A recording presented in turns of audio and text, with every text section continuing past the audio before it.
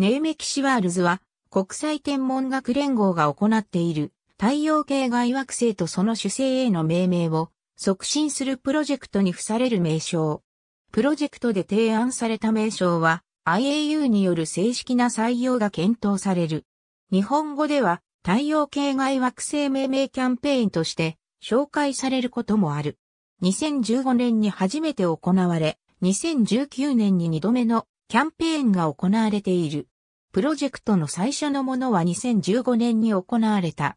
対象として20星系の主星、惑星がリストアップされ、名称を公募してインターネットで投票が行われ、結果として19星系において主星や惑星への命名が行われた。